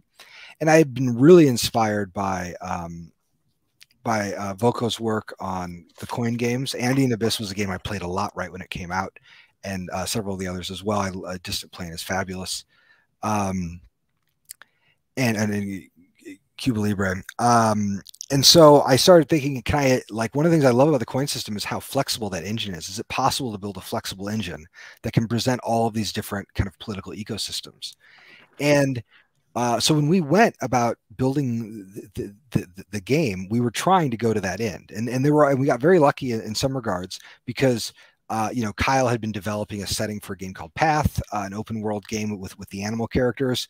That when when we put them onto an early draft of Root, um, we thought, oh, this is doing a very interesting thing for players because if if the characters are adorable, players don't mind being mean to each other because it looks like a Saturday morning cartoon. Mm. And so we, we, we, found that, you know, uh, um, a lot of games when they have war themes, and I always, I, I, I feel bad for Eric because I always pick on Eric Lang here, but um, good naturedly, I promise. Uh, Blood Rage is a very um, kind game. It's got hate drafting, but it, it's, it's just not that mean. And so, but, but, it, but its theme is mean. And so to convince you it's mean, it's got this Adrian Smith art with a lot of crushed skulls yeah. and red and brawny people ripping each other apart. And that that art is kind of saying like, okay, the game is this interactive. Let's have art that's like this interactive so players kind of like can imagine themselves as existing in this more interactive game now root is the opposite root is way interactive over here and the art is trying to convince players that it's back here so that it's pulling players into a spot where they can feel comfortable about the decisions that are making. And so I went into Root with this idea that I wanted players to play this very interactive game. And so a lot of the decisions about how Root is built were about making that accessible. And some of them have kind of been like lost in the in, in the conversation, but I'll, I'll highlight a couple. Uh, the board in Root starts full. This is because I grew up playing a lot of Risk. And Risk, you know, in, in a game of Twilight Imperium, to, to go back to an early example, you don't uh, fight very often in the early rounds of the game which means when players do start fighting, they get very salty at each other because they're like, "Oh, I was just building spaceships." I can hardly mm. blame them. The game, whoops, the, the game uh, was convincing them that this wasn't going to be a war game, and then they had to start fighting. And Risk got around that by saying, "No, at the very first turn, the map is full. You have to fight." And so the entire game is going to be about fighting. And guess what? Players get over it. They understand the terms of the game because the game is being very upfront with them. So I thought when I worked on Root, well, of course the board has to start full. And then I knew that I needed one player to start the fighting first. And the player that I chose to do that is the Eyrie. And the Eyrie does its fighting through a programmed game, which means it gives the player playing the Eyrie plausible deniability. She can say, Oh, I'm not, I didn't mean to attack you, but I, I promised I would. And so it's this decree that's attacking you, not me. And then that gets the players used to the idea that they're going to start fighting each other. Um, and so there were a lot of these little decisions that happened. Now, when we worked on Root, uh, I was, of, course, overwhelmed by its initial response on Kickstarter. Uh, I worked night and day, literally night and day on Root. I, I hope I never have to do that again. I would, uh, I only at that time had one computer, which I just had at work. And so I would come home, do dinner, put the kids to bed, and then I would bike back to work so that I could work on Root at night at, at the office because that was the only place where I had a computer. Um, and then, but when we finished Root, we had built something that everybody on the team was really happy with. Uh, but we had no idea if people would like it. It was so mean and strange. And there were really no other games like it. And when Gen Con came around and we saw the line in front of the booth, it was utterly overwhelming. And then that night, walking, so Gen Con famously uh, has horrible spaces to play in. Like, especially at that time, there were no places to play. Uh, so people play on floors often the wide convention hall floors, the wide hotel floors. And I remember walking back to the hotel that night and seeing people playing Root on the floors and just throwing dice and howling at each other and screaming and having such a good time. And I thought, oh, it, it does seem like people actually do want games that do entanglement, that, that are about ecosystems, that put themselves in these very close positions of proximity. And uh, and seeing the response of that game, and especially the games that have come out after that, I think um, you know, borrow some ideas or try to advance it. I think it's been delightful because it really shows that there's a real interest in games like that. And I thought the thing that I loved about Root is that, and it's it's really I, I, thought what you were saying was really interesting about the situation on the board, but it makes it very clear to the players that, well, aggression and violence is just the result of the system that they are in. It's like they are a faction, they are in that position, this is their objective, and this is their means of reaching those objectives and the, the, there is the inevitability of uh, inevitability of violence, which which I think is a very very depressing.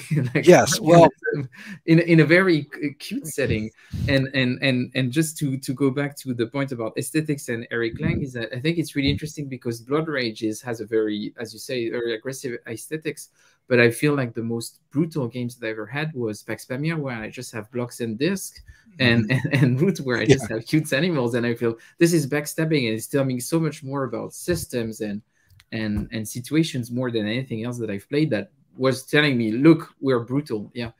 Well, I always I always told people that the uh the meanest games that you could possibly play were 18xx games anyway. Yeah, yeah, like if you you've never you've never really hated someone until they've they've just stolen everything from you in an 18xx game. Um, I and I think that uh, and I, I think this has to do with how unfortunately how often limited we are when we think about the interaction that games can provide and and what what, what a game can do. And so when you get a game engine like 18xx that offers such amazing amounts of entanglement, then uh, the amount that players can do to each other is is really off off, off the, the charts. Now, Root is so violent because the game is a fundamentally Hobbesian framework. Um, and it's sort of a sandbox where I can put different, you know, I, I, think about Root now as this kind of sandbox where I can say, what are some different um, geopolitical postures or mm-hmm. also internal political postures? And can I abstract them into an asymmetrical like root faction? and then I just drop it in a in a little mix. So you can kind of, especially now that there are 10 factions, we've really gotten to a point where you can recreate a lot of different situations in the abstract. And so it, it's a very fun design to work on because I get to read a lot of political theory and I get to think a lot about real world subjects without having to be uh, loyal to them entirely because I know that I'm gonna I'm gonna you know one of them is gonna be a mole with a helmet. Uh, it, it's really interesting what you're distance it's really interesting because a, a, friend of mine was asking me why I liked Root so much, and I told them that because and it's a he's a pretty big coin player, and I told him what I like about Root is that each of the faction or a political organization archetype. um, and and I felt that was it was really interesting. Like the the cats are the typical uh, counterinsurgent faction. They are in control and they are trying to just maintain the status quo. Uh, the the uh, the Woodland Alliance is a, is a, typical insurrection, like you would find a popular insurrection, uh, like you would mm. see in Cuba in, in, Cuba in the 50s. The Lizards are typical terrorist organization sure. that, that are uh, like radical. And you could say that in a lot of way, the Birds are like Russia today, like an empire that has fallen and has like strong autocratic, uh, yeah. but but still very clear uh, uh, objectives and that are open to everyone. It's like, and then you just have to work around the fact that they have those really clear objectives, and that's what I love about the game. They have really strong archetypes, and it's really interesting to hear you say, well, it's actually was a way for you to convey those archetypes in without having to be stay true to to to history.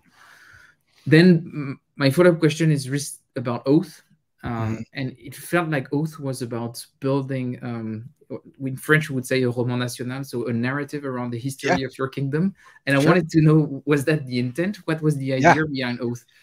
Uh, that's a great question. I want to answer Sobi's question from the channel, if that's okay, because yeah. it relates to Root. Um, so uh, he, Sobi asked if, if the game could be um, considered as greenwashing, which is to say that I'm hiding um, uncomfortable politics by turning something into an alien or a lizard or something, as opposed to just talking about, um, I don't know, uh, ISIL or something. Yeah, yeah.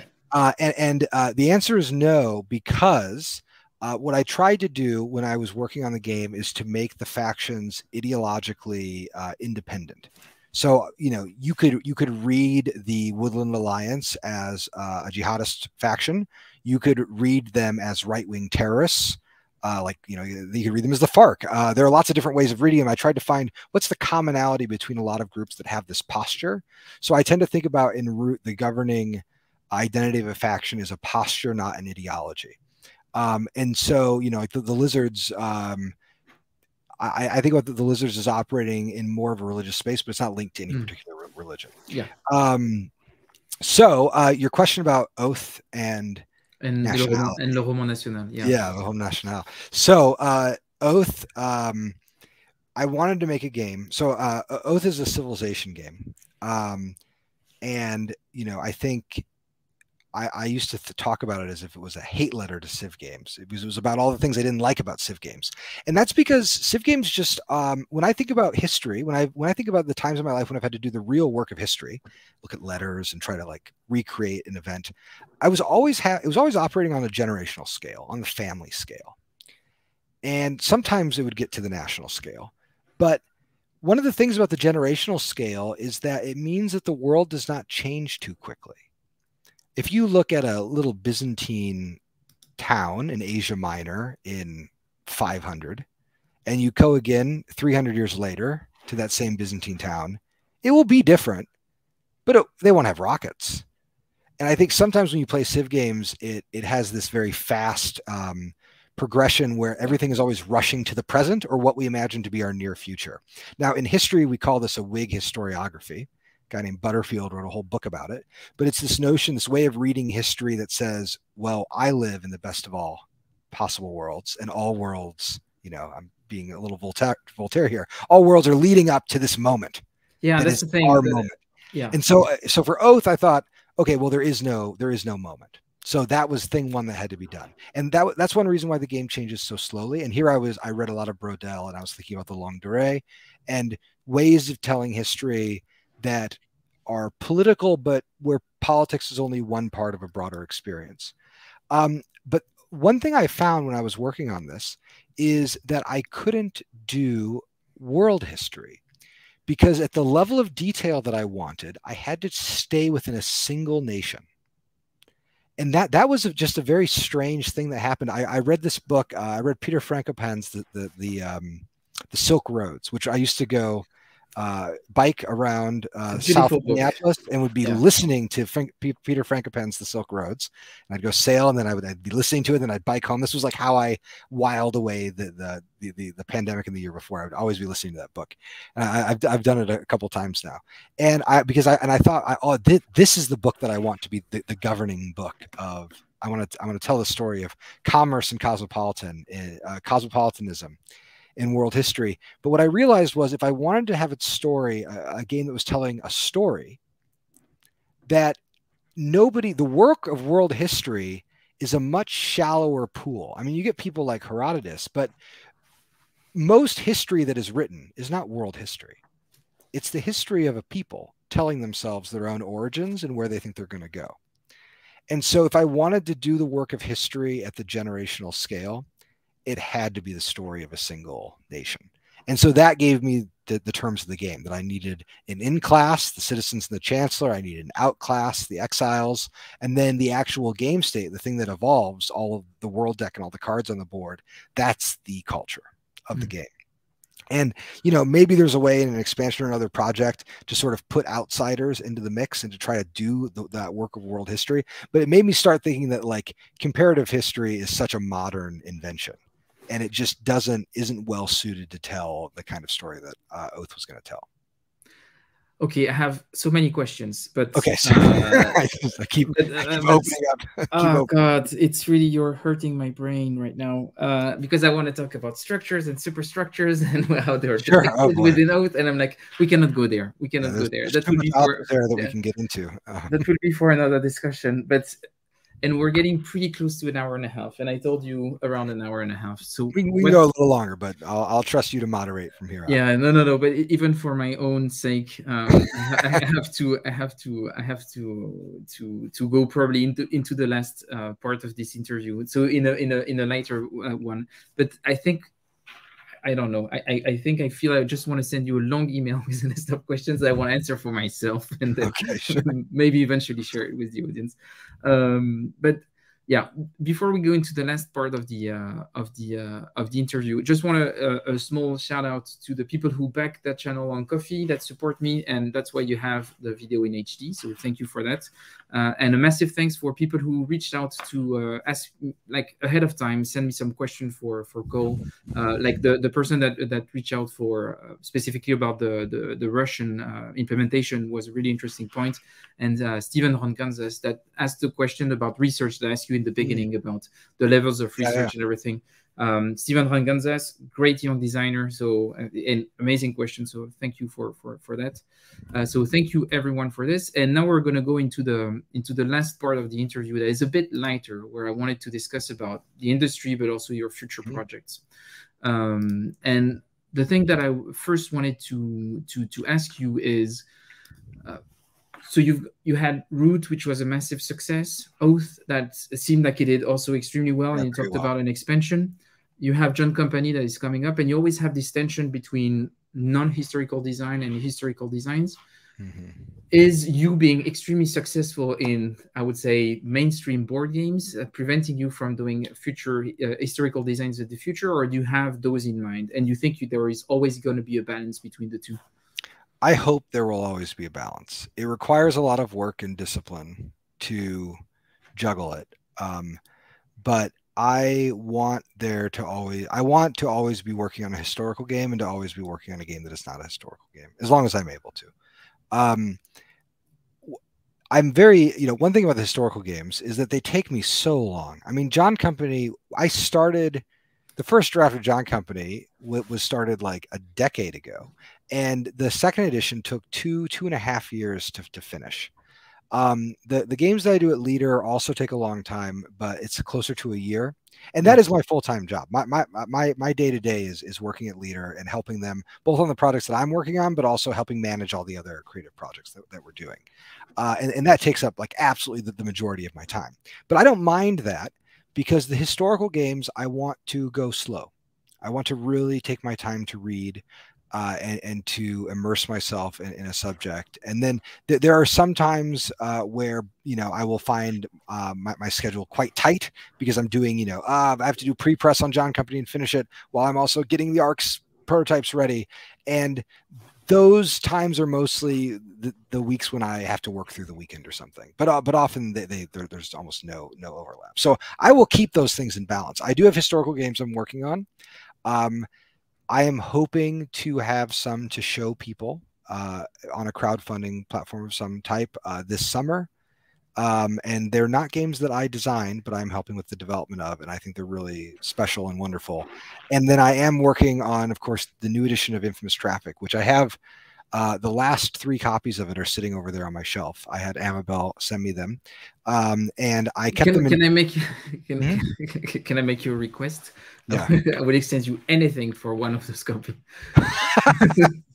I need to use them for testing. I will. I, I, will. I can make sure that we can find a copy. And actually, I, I will be. Um, so on the subject of infamous traffic, uh, John Company was such a difficult project. It was the hardest project I've ever worked on. It's harder than Oath, uh, in, in some ways. Um, and I did not want to think about infamous traffic at all while I was working on John Company. And so I kept them in shrink to stop myself from playing it some weekend and getting back into the mode. So I, I have yet to crack the, the, the, shrink, but I'm very close to being able to, to doing that and starting that process. I imagine that they will not be the upcoming crowdfunding campaign, but the one after that. Um, yeah, and I, uh, I, um, there are some other games that I'm working on too that I that are much too early to really talk about in any kind of way, but I'm doing a lot of reading. Okay, so I'm gonna give you an opportunity to give a hint about what you were talking about uh, without okay. talking about it. Oh boy! And I'm gonna ask you, looking at the hobby of uh, historical game design, uh, do you think that there are topics that are not necessarily enough explored that you would like to see more games on? The two games that we'll be publishing next there are no games in existence that cover either of their subjects. That's the only hint I'll give about. Yeah, that. no, but, uh, but, uh, no, but, but yes, I mean the answer is yes. Like I, um, I have no interest in making a game about the Pacific Theater and partially that's because I know Mark has made the best game about the Pacific Theater. Yeah, uh, there's no need for a new game. I, and I don't, I don't, need to make one. That, that's great. When, actually, whenever uh, there's always this funny thing about influence, and I think this is just this is where I show my hand as a as an ex academic. Uh, whenever someone says like, "Oh, I'm working on th- this topic," and uh, are you working on it too? I'm always like, "Oh, thank God, I didn't want to do that project anyway." I'm so happy that it's being done. So if ever, whenever I find out someone's working on a project similar to mine, it makes me very excited because one, it validates my design instinct, and two, I don't have to do it anymore. Yeah. Um, and, and I think that like that is so liberating. Um, and so I'm, I'm always going to be picking subject, picking games on subjects that are not currently, uh, no one is attacking. But but overall, so not talking about the specific things that are coming up uh, at Wehrlegig or that you're working on, do you mm-hmm. the games that you that you are not working on necessarily, but you're looking at history? Are there mm-hmm. topics where you're feeling, oh, it would be so good if if a designer was taking that topic? Because I think there is a lot to explore here. So I am very excited about some of the games that are coming out at GMT right now. I think that they have a fabulous like the next three years at GMT. Yeah, I think are going to be amazing. Um, so I'm very interested in a non-breaking spaces, the Cross Bronx Expressway, which is just completely shattering, very compelling game. Uh, the, and the a game, bit of auto promo here. He was interviewed here, so we'll add a link to the description to the interview. No, yeah. uh, he's, he's, a fascinating person to talk to about design. Yes. I've, I've, I've, been lucky to talk to him uh, quite a bit, and uh, and I'm I'm very excited. I mean, it's, it's the sort of thing that when I first saw it, I looked at it and I thought, I wish I could have published this game this looks this is incredible. This is exactly what i want to see. Um, i'm very excited about the the prime minister game a game about 19th century victorian politics uh, a subject that is central to john company that there could be a whole, a whole other game about. I'm f- so excited that there is a game coming out about the congress of vienna. Um, i have yeah. a i designed a, a, a, little card game many years ago called metternich which is a um, quasi trick taking game where you oscillate between periods of war and periods of peace. So you're like playing one type of card game and then playing another type of card game. And I really liked it. It was cute. I never, I never finished it or, or, or, pitched it anywhere. But all I thought to myself was, oh, I wish somebody would do a game about the Congress of Vienna because it's a great subject. Um, so I'm very excited about all those. All they're coming out. Um, I had the good fortune to be on the board uh, for the Zenobia contest, and mm. I will say that every single one of the finalists should be published. Yeah. They were all excellent. Um, yes. Many of them need, still need a lot of work, but the subjects, the approaches, some of the mechanisms, they were all so fresh and interesting. And, um, you know, we are currently right now, the board is deliberating if we're going to be able to run another contest soon and when we should run a contest because it was a lot of work for everyone. And I have been uh, doing my best to help everybody who was a finalist and anybody who's in the contest more widely get published. So that has been one of my one of my big preoccupations for the past five or six months has been trying to kind of head a little outcomes committee where we're just making sure those games find publishers somewhere. Are you going to publish one of them? I don't know. we'll see. Okay, okay, good. Uh, and actually, you were talking about the lineup for GMT, and we talked about imperialism. And I was wondering, did you see that uh, game that was added to P500 a few months ago uh, called The British Way? Uh, that is a yes, yes. That is the three micro games about four. Four. four my, my yeah. God, what a project! Um, it is. Yeah, it is you you i think you need to play it because we're talking about not enough game talking about imperialism and i think this is one such game uh, that is really talking about uh, about that in a very interesting way and the fact that you have four in a row four small scale coin games about um, uh, the, the collapse of the uh, of empire is making such saying so it yeah. has so much things in there so many interesting points i think yeah, you, you love it, it yeah. proper so uh, when i was doing um uh, so I, you know, I, I often think about my history games as being the sequence about the British Empire, and I originally thought I would just do three, but I think actually there might be five games in that sequence. And, and this this is going to take me a decade to do the, this project, and um, it's occurred to me that you need that many titles. You need a multilateral pro, not a multilateral. You need like a um, a montage approach to to yeah. cap such such a big uh, topic. Good. Uh, oh, yeah, actually, and I have my editor in chief here that's saying, Fred, that's the moment where you ask Cole to. So, so I don't know if you know, but uh, a, a, couple of years ago, we uh, um, had this uh, dumb idea of uh, having a concept game jam and mm-hmm. get people to make a, a war game in three days.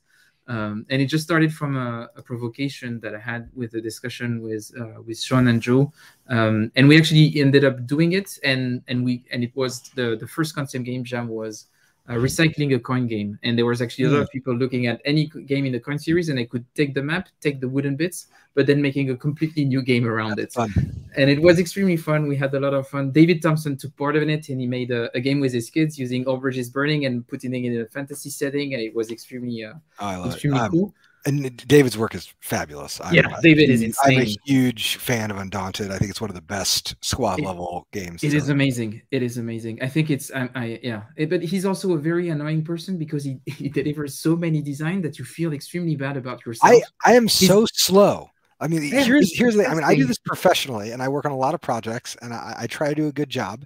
And I am just so slow. I had a designer contact me to ask to do a co-design. A yeah. designer I really really admire and I wanted to say yes, but I had to just be honest. I was like, look, for a title like this, I'm going to be the slowest little wheel. And I'm gonna I'm gonna keep wanting to revise it right up to the end. I, you don't want to work with me on this project because I do just take. I mean, I I, I take all all the games I've worked on just take take much, much too long. But anyway, so concept game jam. Uh, David Thompson is annoying. We put that aside. It's uh, everyone yeah. knows that very annoying person, but also very awesome um yeah and and actually a game out, uh, out of uh, two games got put, got added to p500 afterwards. So in the oh, shadows uh, in the shadows oh, was, oh yes. Yeah in, in, the shadows was based on uh, a, falling sky. So the map from falling sky and they did something about french resistance which was extremely fun pieces from colonial twilight. Yeah.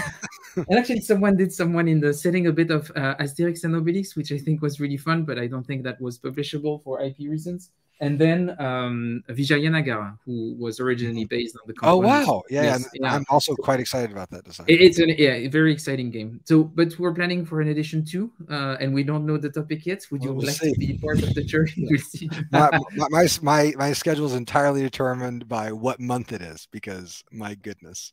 And the thing is that I'm really bad at planning, so I won't be able to tell you what month it is before we actually do it. Uh, but good. But maybe to close a bit um, uh, this interview and talking about game design and people getting into game design, would you have a few tips for aspiring game designers that want to get into there? Sure.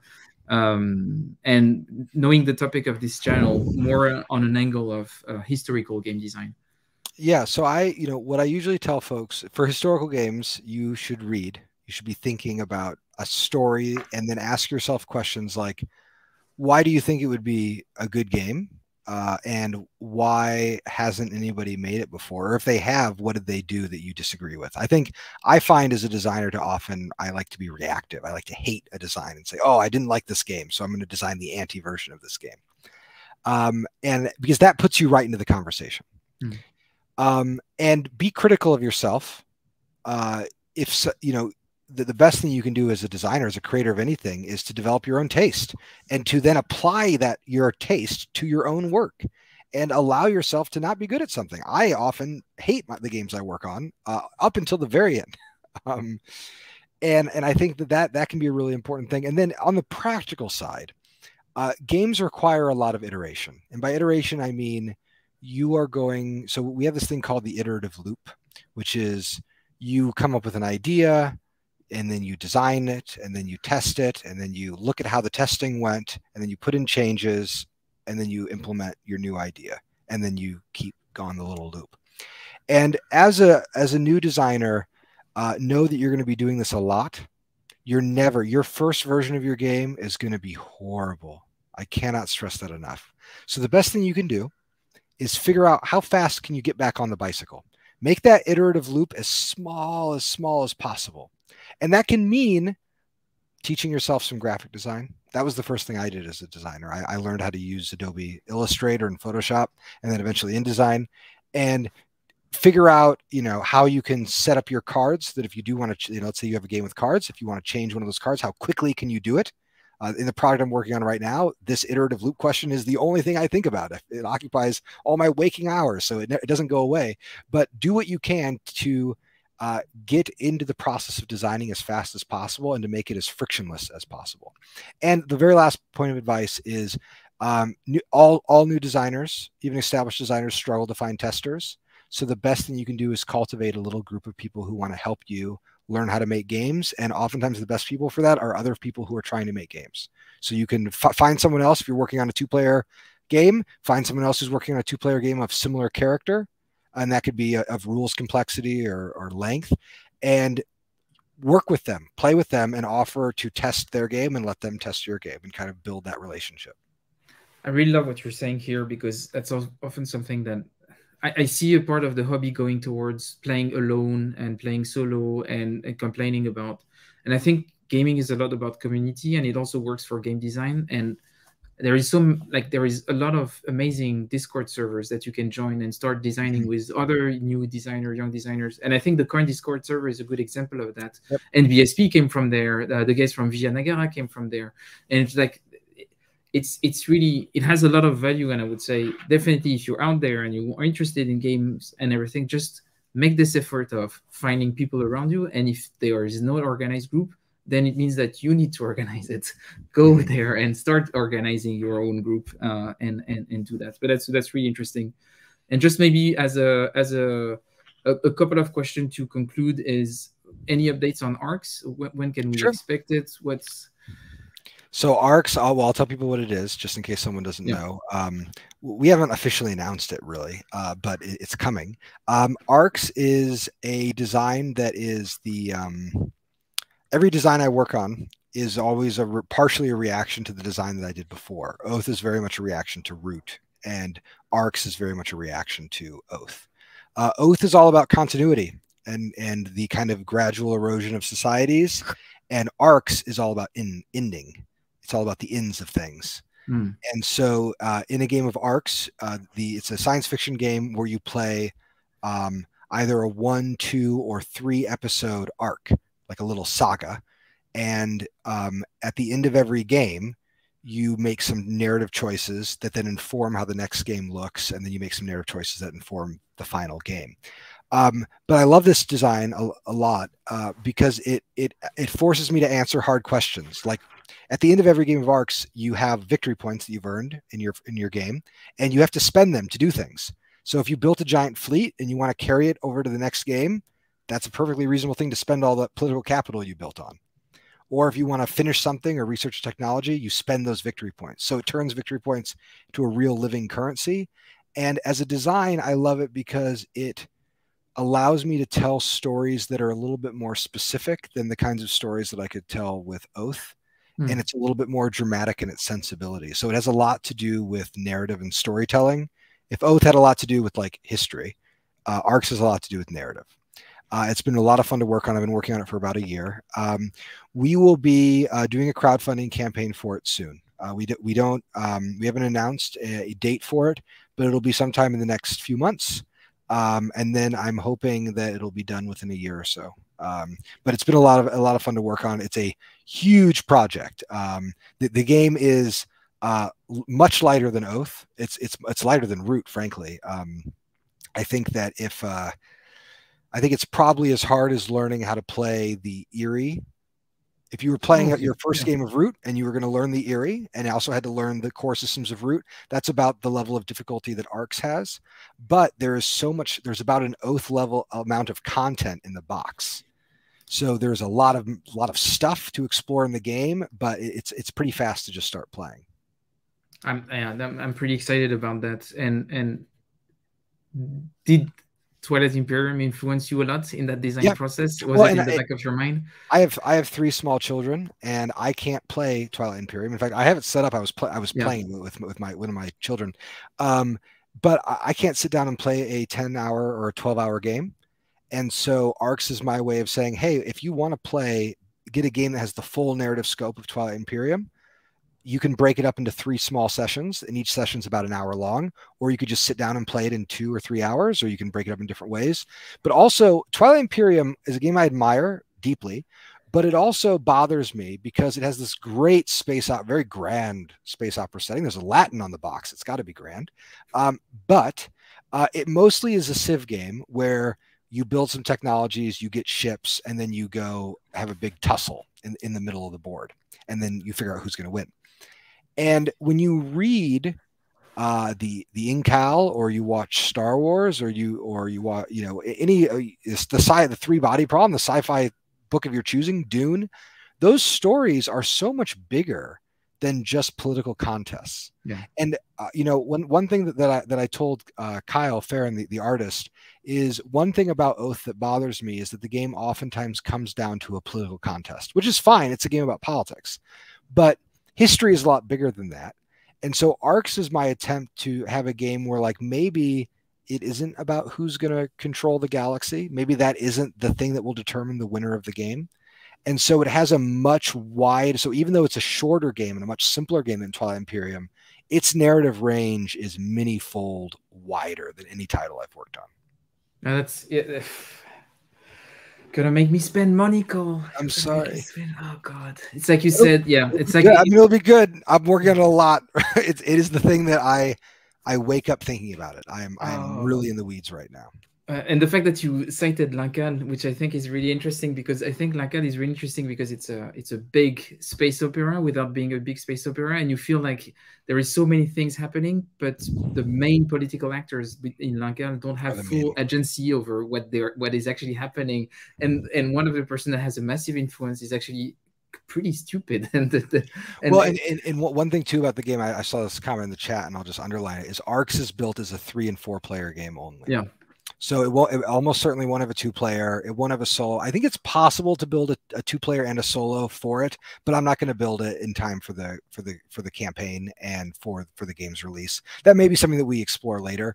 Um, and I also don't think the engine works very well at five or six players. And so my goal was, can I make a three player game feel like a five player game? and can I make a four player game feel like a six to eight player game? Because one of hmm. my favorite games of Twilight Imperium was a game I played with eight people who all knew the game very well, and we, we played it quite quickly. Uh, and it just the world felt so teeming. And so as I'm playing Arcs, I'm thinking, is this game? Are there things that I can do to make the three and four player game feel like a big table? Because it's so much easier to gather that number of folks together. And one big difference is when you play a game of arcs, if when you play an arc, uh, you can't swap players between the games. I, I, mean, I guess you could, but unlike Oath, your player position is transposing directly into the next game. Um, there's also no like limit. Your, your set isn't going to spoil. Um, you can be played many, many, many times uh, without running out of content. And to conclude uh, this amazing discussion, thanks again for taking the time. Uh, would you have a few uh, recommendations of games or designers that recently uh, got your attention and that uh, you would like to um, put some light on or oh sure sure. Um let me let me think here. Oh i've been so in a uh what have i been playing recently that has been really exciting? I have been playing okay so i'm gonna do i'll do a, a, a real scattershot of things. Um uh a book i'm reading. I'm reading mary beard's spqr for the second time. It's great I've also been reading. Here we go. This someone mentioned how um, we were talking about Hobbes, and they thought this is a funny chat. This is the book that I've been obsessing about lately. This is Thomas Pynchon's Mason Dixon. I have it sitting Oof. next to my table because uh, I was in. I have a book club where we read Pynchon novels, and this is the second to last Pynchon novel that the book club has done. So we've been we've been doing almost all of them. Or I guess we, we haven't done Crying of Lot, but Crying of Lot short doesn't count. Um, and so I've been reading those books and really enjoying them. Uh, I have been playing Undaunted, which is great. And uh, I've been really enjoying North Africa. Uh, last summer, I played through a lot of the Normandy scenarios with one of the staff uh, developers at Leder Games. And I've been meaning to play North Africa, and I've been playing it with, with my partner and having a really good time with it. Um, the game that I'm thinking about a lot lately has been Nicaea by Amabel Holland uh, which is a really interesting tableau builder, which also has fundamentally different ways of thinking about history and subject from how I think about history and subject. Yeah. Uh, just a very different storytelling approach, and I, I, I find it kind of exciting and, and curious. Um, and then uh, let me think about what I'm, I'm going to look over at my shelf and see if there's anything else that is jumping out at me that I feel like I must bring up. Oh, here, here's a strange recommendation. I just played an auction game uh, called Square on Sale, which is a Japanese auction game that is like Othello plus the estates, and it is utterly bewitching. It's so oh, strange, yeah. uh, and so that that's that's what I've been that's what I've been playing. Okay, but that's yeah, great recommendations, good stuff to explore. Uh, I would like to thank you again for um... oh, your game. Sorry, I, and I, I, almost forgot. Um, one of the best short GMT games that has come out I mean, there aren't many short GMT games. That sounds like faint praise. It's very good. There are two short I don't know GMT how much, games. I don't know how much log rolling I'm allowed to do, but everyone should get uh, Red Flag because it's fabulous. Yeah, obviously, obviously, there are not that many copies left. I would say that. Uh, so, so yeah, uh, get there fast. Um, great, but it was once again, it was awesome having you. It was a great discussion. Uh, sorry, it took a bit longer than what I originally no expected. Trouble. And if you're still watching this at this point in the video, uh, and if you like what I do, remember to like, add some comments, share the content around you, subscribe, and all those things. Uh, and yeah, thanks everyone for being here tonight. It was awesome in the chat. There was a lot of really interesting discussions in parallel. Um, and I feel like we have a lot of things to talk about again. Maybe I will try to invite you again on the show, maybe to play a game and chat on some about yeah, something that, on the side. That could be also pretty nice. That but sounds for, great. But for now, I would say good evening, everyone. Uh, thanks again, and uh, see you next week uh, for the viewers. Bye bye. All right, take care.